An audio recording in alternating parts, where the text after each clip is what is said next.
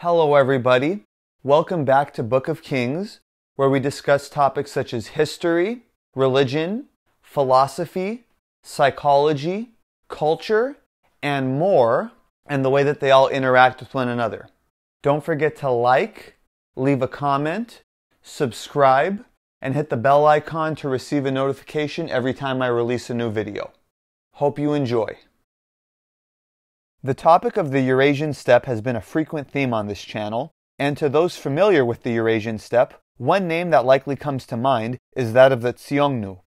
The Xiongnu were a nomadic tribal confederation of the eastern Eurasian steppe, and arguably the first major one at that, acting as a frequent rival to the Han Dynasty of China. The immense impact that the Xiongnu had on the history of the Eurasian steppe has led many to draw connections between them and other steppe peoples, and has sparked debate regarding their ethno-linguistic origins and identity.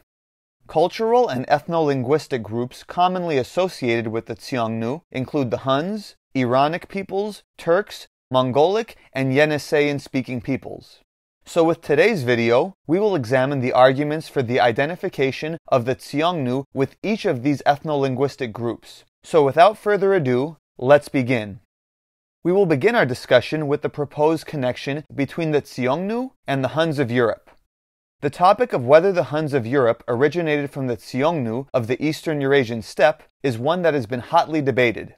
While many subscribe to this theory, it has not yet become the consensus among scholars. Genetic research is cited to draw a connection between the Xiongnu and the Huns, with recent research showing that the Huns had a significant amount of Xiongnu DNA. However, this connection has been disputed by other researchers, stating that the small sample size has made it difficult to draw a connection between the two nations. Of the many arguments in favor of the connection between the Xiongnu and the Huns, the primary piece of evidence cited is the similarity between the names of the Xiongnu and groups related to the Huns. Steppe peoples of medieval Central Asia, such as the Kidarites, Hephthalites, Alchon, and Nezak, are often known collectively as Xionites, derived from the Middle Persian name spelled X-Y-O-N, likely pronounced something along the lines of Chion. The people referred to as Xion in Middle Persian also had a significant presence in the Indian subcontinent, where they are referred to as the Huna, and they are referred to as the Hun in the Syriac language. This naturally conjures up thoughts of similarities with the name of the European Huns. In fact, the Hephthalites of Central Asia are often referred to by the title of White Huns. And while many scholars are of the opinion that there was no direct connection between the Huns of Europe and the Xionite peoples such as the Hephthalites, let alone the Xiongnu, historians such as Etienne de la Vaissière hypothesize that the Hephthalites were part of Hunnic migrations of the 4th century from the Altai regions of the eastern steppe, which eventually reached Europe, and stated that they were the quote unquote political and cultural heirs of the Xiongnu. Further, he points to the script of the ancient Sogdian language, which refers to both the Xiongnu and the Huns as XWN, possibly pronounced something along the lines of Hun. In fact, the connection between the Xiongnu and the Huns was first proposed in 1758 by French historian Joseph de Guignes. Guignes made reference to the fact that Sogdian sources describe the Hun people pillaging the Chinese city of Luoyang, with Chinese sources referring to this same event as being perpetrated by the Xiongnu, giving support to the argument in favor of a connection between the Xiongnu and the Huns. However, it should be noted that Guignes did not attempt to prove any ethno-linguistic cultural connection between the Xiongnu and the Huns, but rather the connection he proposed was more of political identity. However, as it is proposed that the hypothesized connection between the Xiongnu and Huns may have been based upon political identity, but not necessarily cultural or ethnic identity, even if we were to draw a connection between the two nations, this may still leave the question of their ethno-cultural linguistic origins open for debate. Further, some scholars have suggested that the language of the Huns is unidentifiable, or that the Huns were a multi-ethnic nation with various languages spoken. This brings us to our next contender for ethno-linguistic connections of the Xiongnu, and that is to the Mongolic-speaking peoples. Being that the Xiongnu Empire resided primarily in modern-day Mongolia, it may seem natural that a connection between the Xiongnu and the Mongolic speaking peoples would be drawn, with some scholars suggesting that the Xiongnu may have spoke a language related to Mongolian, and that the Xiongnu may have been ancestors of the Mongols. Japanese scholar Shiratori Kurakichi expressed agreement with this position, but additionally proposed that the Xiongnu were mixed with speakers of Tungustic languages. For more information on the Mongolic and Tungustic languages, check out my video series on the language families of the world. Now moving on to the next contender on the list of potential ethno-linguistic backgrounds for the Xiongnu, we will now discuss the Iranian or Iranic speaking peoples. So just to provide a little bit of context, when we refer to Iranian or Iranic speaking peoples, we are not just referring to the people and languages of Iran, but to the languages and speakers of languages of the Iranian group of the Indo-Iranian branch of the Indo-European language family. This would include not just the majority of the languages of modern-day Iran, but also languages spoken presently and historically in the Iranian plateau, as well as Central Asia and the Eurasian steppe, including languages of steppe peoples such as the Scythians.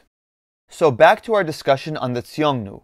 Scholars such as Harold Walter Bailey had proposed that the Xiongnu were of Iranic origin, noting that all of the early Xiongnu names from the 2nd century BC were Iranic names. Further, in a 1994 UNESCO publication, Hungarian linguist Janos Harmatta proposed that the Xiongnu royal tribes and kings possessed Iranic names, and that all Xiongnu words documented by the Chinese can be explained being from an East Iranian Scythian language and that from this it can be concluded that the Xiongnu spoke an Eastern Iranian language. Additionally, Central Asian scholar Chris Beckwith has noted that the current written Chinese form of the name now pronounced as Xiongnu may have been pronounced in a manner similar to the names of the ancient Iranic-speaking peoples of Central Asia, the Scythians, Saka, and or Sogdians. However, he has stated that the Xiongnu may have contained an Iranic component when they first began, but more likely had previously been subjects of an Iranic-speaking people whom they learned the nomadic model they practiced from. Per a 2020 study by Cambridge University, despite hypothesizing that the majority of the Xiongnu population likely spoke a Turkic language, it has been noted that the Xiongnu genomes contain 1 to 25% Iranic ancestry. This leads us to the next ethno-linguistic group in our discussion, and that is the Turkic peoples. Many scholars, including the previously mentioned 2020 study by Cambridge University, propose that the majority of the Xiongnu population was believed to have spoken a Turkic language, which this study describes as being the most commonly held view. Chinese sources link the Tiele, a Turkic tribal confederation which emerged after the fall of the Xiongnu, to the Xiongnu.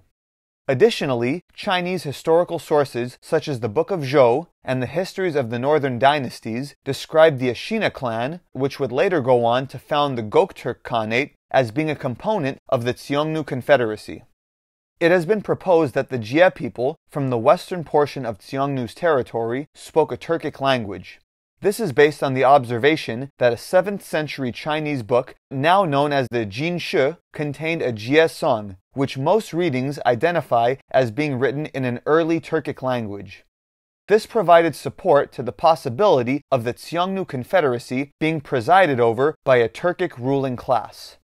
According to an analysis by A.V. Dybo, the historically documented written vocabulary of the Xiongnu has been shown to be of partly East Iranian origin and partly of Turkic origin. She did note, however, that the words of East Iranian origin were found only in early sources, almost all of which were either titles or terms for dairy products. While Turkic words were found in both early and later sources and across various different areas of their vocabulary. This can be argued to hint at an initial East Iranian ruling elite with the Turkic speaking majority or plurality, possibly corroborating Chris Beckwith's hypothesis, which we previously discussed. Additionally, genetic research from 2003 on the remains of 62 individuals buried in a Xiongnu gravesite in Mongolia between the 3rd century BC and the 2nd century AD found DNA patterns similar to those of many modern Turkic peoples, providing further support to the hypothesis that the Xiongnu may have been of at least partially Turkic origin. It has been suggested by some scholars, such as Edwin Pulleyblank, that the Xiongnu spoke a Yeniseian language. Yeniseian is a small language family comprising languages found around the Siberia region of modern-day Russia. It has been proposed that the Jie people, which we previously mentioned, spoke a Yeniseian language as opposed to a Turkic language. This is based on the hypothesis that the song which we discussed earlier was composed in a Yeniseian language. This has led some researchers to argue that a Yeniseian Jie minority ruled over other peoples within the Xiongnu Confederacy, such as Turkic and Iranic peoples. Such scholars have suggested that Xiongnu titles which were later borrowed by Turkic and Mongolic peoples, such as Tegin and Targan, are actually of Yeniseian origin. However, the association of the Jie people with the Yeniseian language family is highly disputed. Other scholars have proposed that the Xiongnu initially spoke a Yeniseian language, but later experienced a shift in language from Yeniseian to Turkic. With evidence potentially pointing to a variety of ethnic origins for the Xiongnu, many scholars have proposed that the Xiongnu were a multi-ethnic confederation comprising multiple ethno-linguistic groups and that its dominant language has not been definitively proven.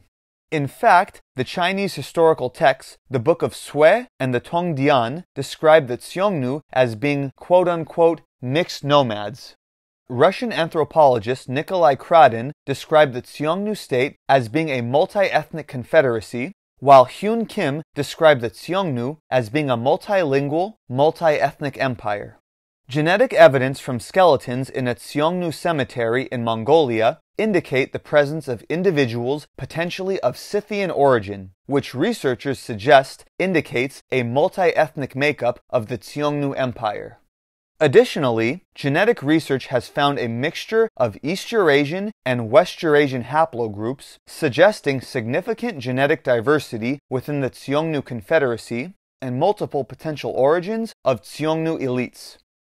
And finally, this brings us to our final hypothesis on the ethno-cultural linguistic connections of the Xiongnu, and that is no connection. Turkologist Gerhard Doerfer has rejected the possibility of a connection between the Xiongnu language and any other known language, strongly rejecting a connection with Turkic or Mongolic languages. But what do you think? Were the Xiongnu the ancestors of the Huns, or is this a loose connection at best? Were the Xiongnu, and by proxy the Huns, if we do believe that the two people were connected, of Mongolic background? Were they East Iranian? Were they Turkic? Yeniseian? Were they a multi-ethnic confederacy which included many or all of these different ethno-linguistic groups? Or were they entirely unrelated to any known group? Let me know your thoughts in the comment section. Thank you for watching. This has been another Book of Kings video. Don't forget to like, leave a comment, subscribe, and hit the bell icon to receive a notification every time I release a new video.